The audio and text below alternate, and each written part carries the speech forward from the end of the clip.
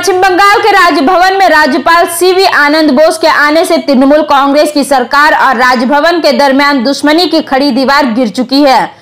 State education minister Bratya Basu ने राजभवन में राज्यपाल सीवी आनंद बोस के सामने इस बात की वजाहत करते हुए कहा है कि अब नबन्नो और गवर्नर हाउस के दरमियान कोई मतभेद नहीं है।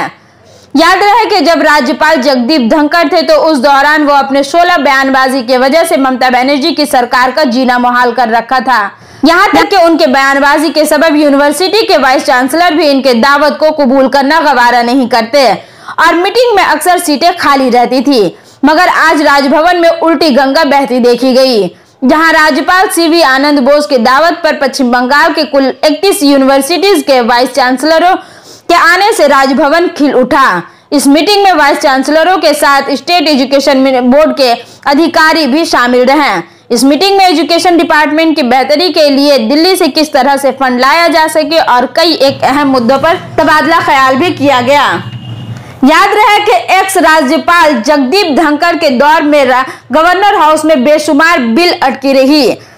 जैसे कि हावड़ा कॉरपोरेशन के इलेक्शन को लेकर या फिर ममता बनर्जी के वाइस चांसलर का मामला। इस तरह की कई बेशुमार बिल अटकी जिसका अब तक कोई हल नहीं हो पाया है। इम्कान लगाया जा सकता है कि नए राज्यपाल सीवी आनंद बोस के आने से वो तमाम बिल की परेशानियों का हल निकलना मुमकिन है বলতে চাই যে মাননীয় মুখ্যমন্ত্রীর যে নির্দেশ এখানে মিটিং করেছি এবং এই মিটিংয়ের আহ, ফলাফল অত্যন্ত ফলপ্রসূ হয়েছে এবং আপনাদের কাছে যাওয়ার আগে বলতে পারি আপনাদেরই কথা যেটা আজকের মিটিংয়ের যদি মূল নির্যাস কি হতে হয় তাহলে আপনাদের মতো করে বলতে বিরোধ নয় সমন্বয় এটাই এখন থেকে দপ্তরের সঙ্গে রাজভবনের আগামী দিনে ফলপ্রসূ এবং তাৎপর্যপূর্ণ হিসেবে জারি থাকবে।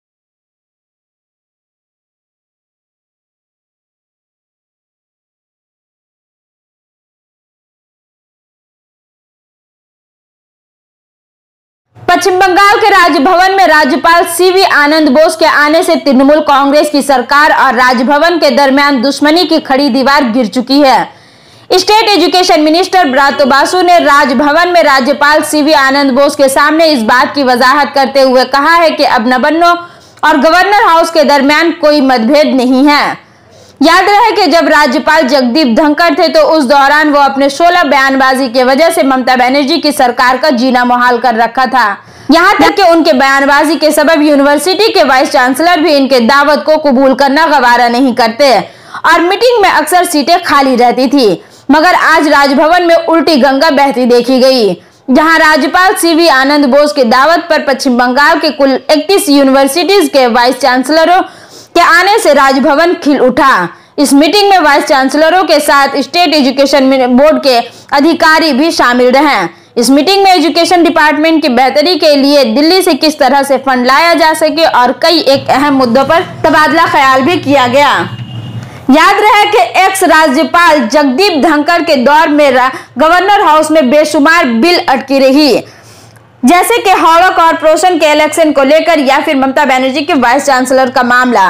इस तरह की कई बेशुमार बिल अटकी जिसका अब तक कोई हल नहीं हो पाया है। इम्कान लगाया जा सकता है कि नए राज्यपाल सीवी आनंद बोस के आने से वो तमाम बिल की परेशानियों का हल निकलना मुमकिन है বলতে চাই যে মাননীয় মুখ্যমন্ত্রীর যে নির্দেশ এখানে মিটিং করেছি এবং এই মিটিংয়ের আহ, ফলাফল অত্যন্ত ফলপ্রসূ হয়েছে এবং আপনাদের কাছে যাওয়ার আগে বলতে পারি আপনাদেরই কথা যেটা আজকের মিটিংয়ের যদি মূল নির্যাস কি হতে হয় তাহলে আপনাদের মতো করে বলতে বিরোধ নয় সমন্বয় এটাই এখন থেকে দপ্তরের সঙ্গে রাজভবনের আগামী দিনে ফলপ্রসূ এবং তাৎপর্যপূর্ণ হিসেবে জারি থাকবে।